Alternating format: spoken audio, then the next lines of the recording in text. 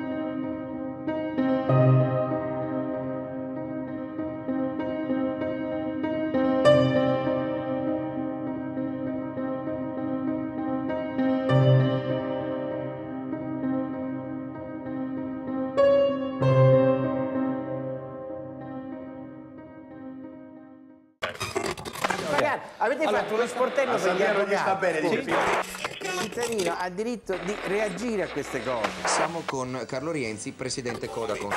Alle dire questo. C'è qualcuno che fa i controlli dentro questi locali? Allora Renzi, grazie.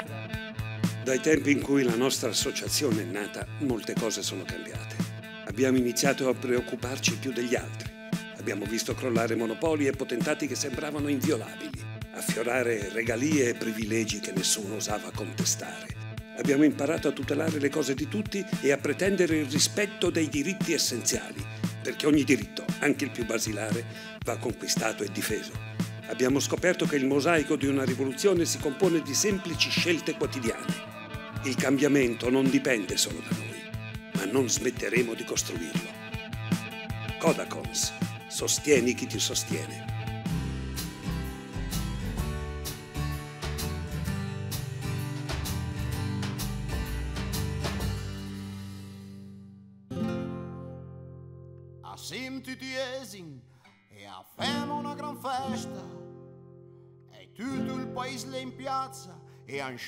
Scugna c'ha curesta le pien da bandiere e stemmo il vialone la gente che la vestia di color di frazione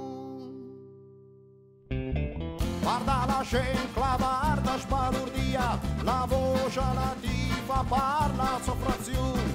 A varš la festa le mai finia, us bala, continuazione. La banda la suona, una bella melodia, e tutti chi canti la madema canzone.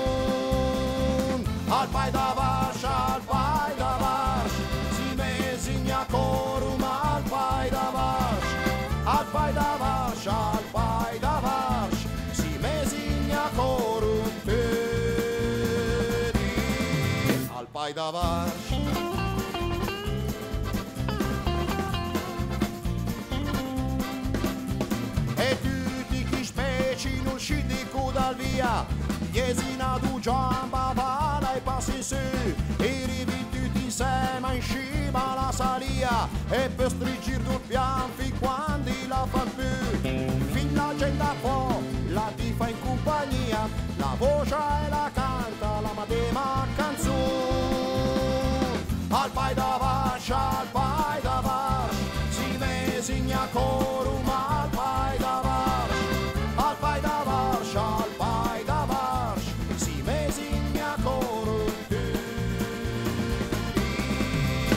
pai da baix.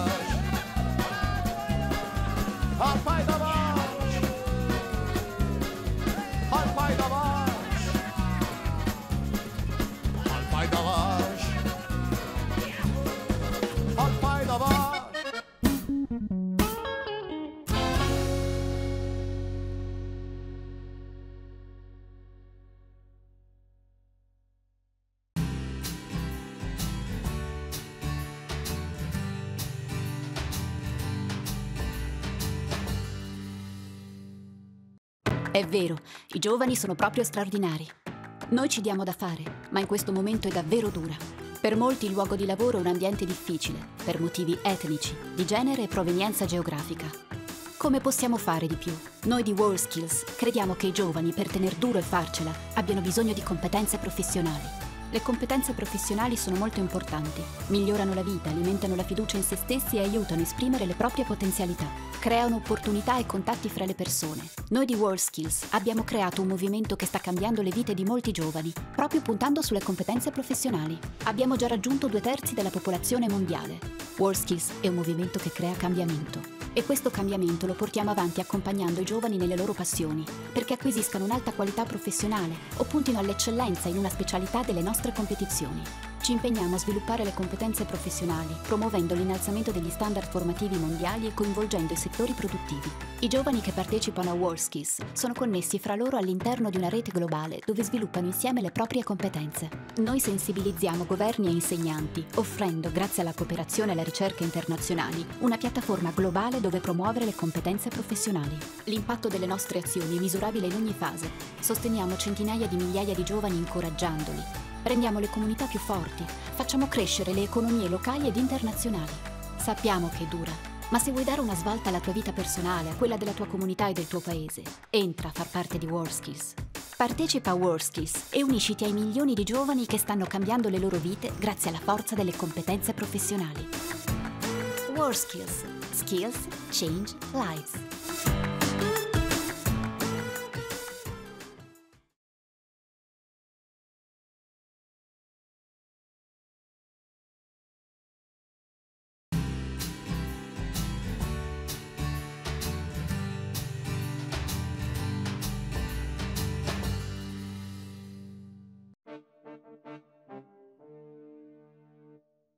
Ci troviamo in Piemonte, in provincia di Novara, proprio alle prime pendici delle colline novaresi e quello che vedete alle mie spalle è il castello di Pro, comune di Briona.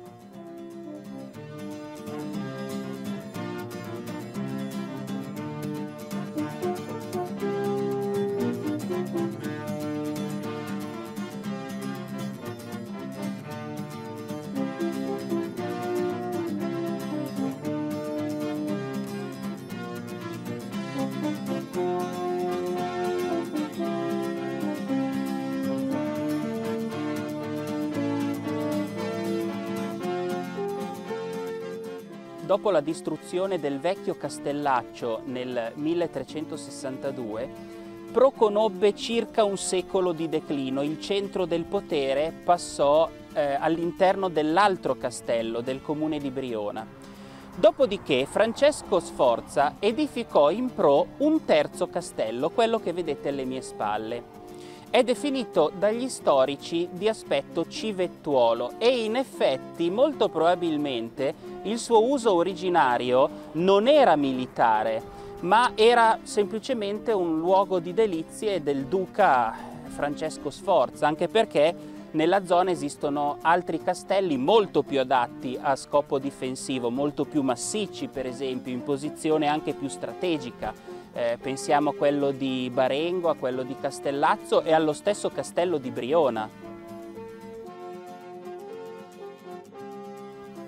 Gli attuali proprietari di questo castello, i Marelli, la famiglia Marelli, ha applicato all'ingresso eh, del castello questa lapide dove c'è in breve la storia del luogo. Beh, innanzitutto troviamo il toponimo, l'origine del nome Pro, Pro deriva da Petrorium o Locus Petrorius perché è un luogo ricco di sassi, di pietra, ci troviamo presso una zona eh, geomorfologicamente chiamata i roncati. I roncati sono delle pietraie, dei luoghi sassosi posti proprio ai piedi delle colline. Beh, poi è accennata la storia del vecchio castellaccio medievale di Pro e infine eh, l'istituzione di questo castello da parte di Francesco Sforza che poi è passato in tante mani eh, quali sono i signori, le famiglie più importanti che periodicamente ritornano un po' sempre nella storia locale della zona. Leggiamo per esempio che è passato da Francesco Sforza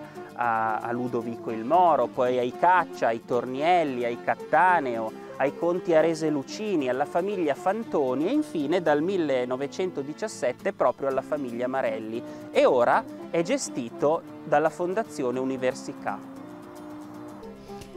Ha inizio per la nostra fondazione una nuova avventura che è quello del Castello di Pru. Dopo il polo museale di Druogno e il Cultural Park del Museo Meina, diamo appunto il via a questo nuovo progetto che è quello di creare un Cultural Park delle colline novaresi.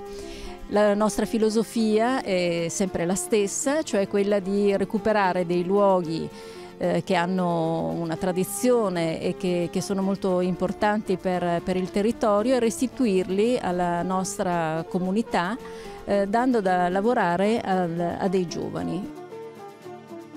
Questo smart walking ha raccontato delle piccole storie, storie che appartengono alla grande storia del nostro territorio. È quello che noi della Fondazione Università faremo, sapremo valorizzare la storia e il territorio, a partire dal centro culturale rappresentato dal Castello di Pro che abbiamo in gestione, che va ad unirsi agli altri due grandi centri culturali che si trovano a Druogno in Valle Vigezzo e a Meina sul Lago Maggiore. Faremo tantissime iniziative che andranno a coniugare la storia con il territorio, con la cultura, con la natura in modo sempre accattivante per i visitatori e i fruitori, ma questa è un'altra storia.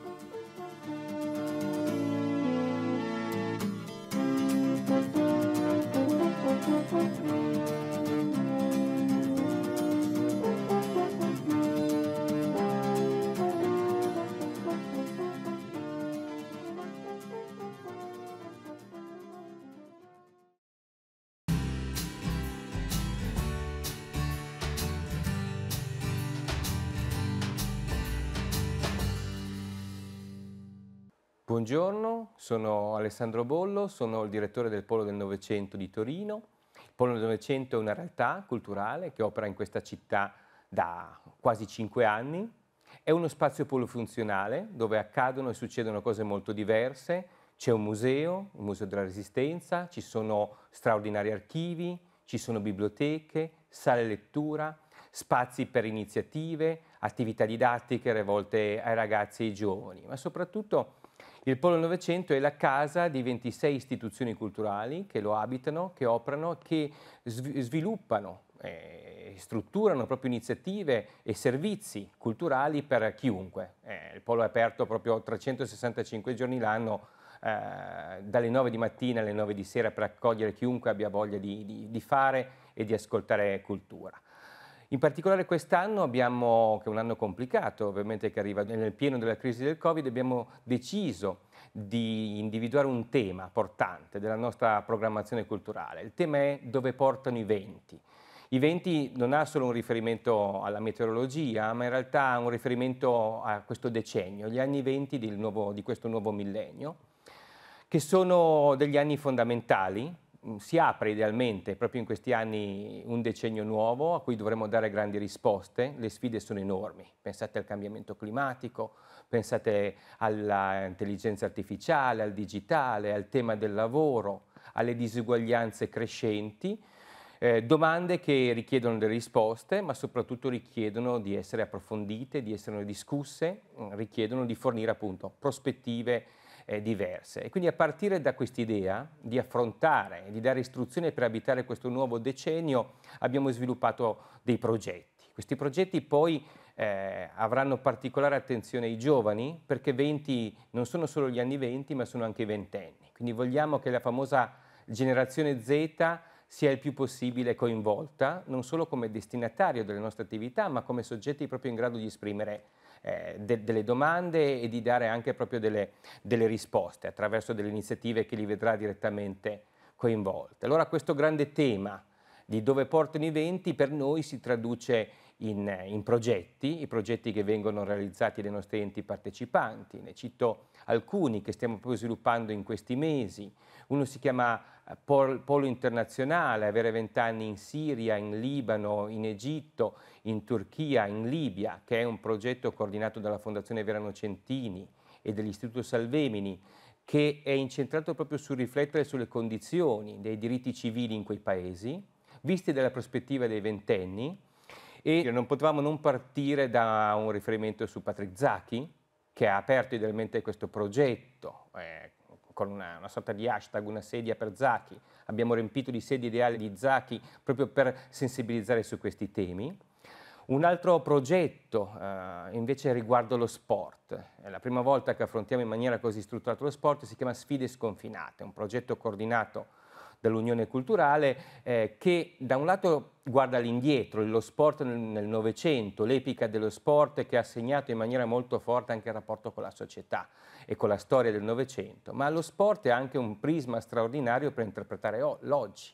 Il, lo sport ci consente di parlare di diritti, lo sport ci consente di parlare anche di, di società, di sviluppo, di innovazione, di rapporto con la politica e quindi abbiamo realizzato e realizzeremo iniziative, talk, dibattiti, ma faremo anche giochi, faremo sport, biciclettate, camminate che ci consentiranno di scoprire il Piemonte e Torino anche attraverso questa, questa lente. Non potevamo non eh, ragionare anche, non partire dai nostri archivi. Come dicevo prima, noi abbiamo 9 km di archivi, ma questi archivi sono anche una grande piattaforma digitale. Oggi chiunque voglia può andare sul sito del, nove, del Polo del Novecento e consultare qualcosa come 600.000 oggetti digitali.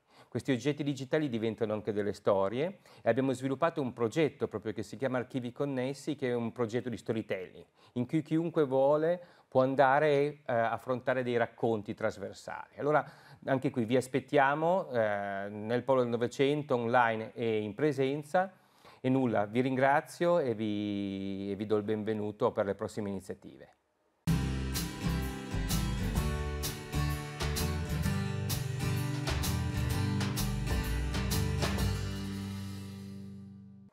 Buongiorno, mi chiamo Marco Gobetto, ho 53 anni e sono laureato in ingegneria elettronica.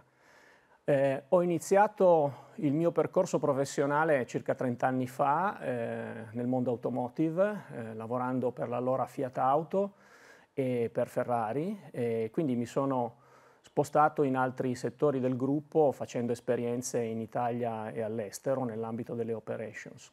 Sono un associato di Federmanager e eh, sono un manager eh, di Stellantis. Ehm, in questo mio percorso professionale ho avuto modo di fare esperienze in Italia e all'estero, alcune anche molto, molto importanti. Ho avuto il privilegio di lavorare nel merge, nell'integrazione con Chrysler negli Stati Uniti per alcuni anni e di insegnare al Politecnico nell'ambito del corso di ingegneria dell'autoveicolo, dove tuttora sono titolare di un corso nella laurea master e eh, tuttora dirigo una business line che si occupa di formazione e consulenza all'interno di Stellantis appunto. Mi ritengo molto fortunato perché ho avuto modo di eh, maturare una conoscenza e un'esperienza eh, articolate non solo nel mondo automotive ma in diversi settori industriali eh, e, anche, e, anche, dei servizi che oggi eh, riesco a mettere a disposizione nell'ambito del mestiere che svolgo. Venendo al tema del nostro incontro, eh, diciamo che le sfide di oggi che ci troviamo ad affrontare sono, a mio modo di vedere, molto più difficili e complesse eh, di quelle che probabilmente anche solo due o tre anni fa avremmo potuto immaginare. Eh, nell'ambito della fisica esiste un principio universale, che è il principio di azione e reazione, e, e questo ci dice che ogni volta che mettiamo in atto una, una serie di comportamenti e di azioni corrispondono delle azioni uguali e contrarie e, e, credo che questo sia quello che è successo in, in fin dei conti in questo periodo di pandemia. Ci siamo trovati di fronte a uno stato di necessità, forse perché non siamo riusciti a mettere in atto in maniera autonoma dei cambiamenti che si rendevano necessari. Eh, e questo, questo, stato di necessità che eh, ci ha portato a modificare i nostri stili di vita e i modelli di business che dobbiamo mettere in atto eh, ci ha messo di fronte a delle scelte, delle scelte importanti. Ehm, mi viene in mente il eh, principio del, dell'evoluzione darwiniana come unica chiave di, di, di sopravvivenza. Credo che chi è in grado di eh, mettere in atto questi principi rapidamente avrà eh, l'occasione di cogliere le migliori, le migliori, opportunità. I modelli di business eh, stanno cambiando rapidamente. Mi viene in mente eh, uno studio che ho letto durante il periodo pandemico di Forbes International che ehm, cita l'e-commerce e eh, lo smart working come dei fenomeni di cambiamento che eh, rimarranno stabili anche dopo il periodo pandemico. I modelli di business eh, come l'automotive, eh, il commercio stesso, i trasporti in generale, pensiamo al mondo della farmaceutica con le recenti scoperte sui vaccini, stanno cambiando rapidamente. Questo richiede eh, delle competenze diverse. Eh, le cosiddette smart skills eh, ci dicono che dobbiamo essere in grado di affrontare i temi in maniera specifica, eh, andando eh, a lavorare per obiettivi che siano raggiungibili eh, e queste capacità eh, sono indubbiamente delle competenze nuove che bisogna maturare. Tuttavia non basta, bisogna avere anche delle competenze distintive eh, e queste competenze distintive mi fanno venire in mente l'innovazione tecnologica e quindi la digitalizzazione, la realtà virtuale, eh, ma anche temi molto più sensibili come, come l'ambiente e l'ecosostenibilità. Per quello che riguarda eh, le attività che noi facciamo, abbiamo maturato questa esperienza e mettiamo a disposizione di manager e aziende eh, la capacità di saper eh, trasferire queste competenze eh, e questo lo facciamo attraverso una struttura di academy, di relazioni con l'università e centri di competenza sul territorio e un pool di esperti che sono in grado di eh, trasferire queste competenze. Diciamo che l'evoluzione è eh, nel nostro DNA e eh, imparare oggi per essere i migliori di domani è un po' il nostro mantra. Con questo eh, vi ringrazio e vi saluto.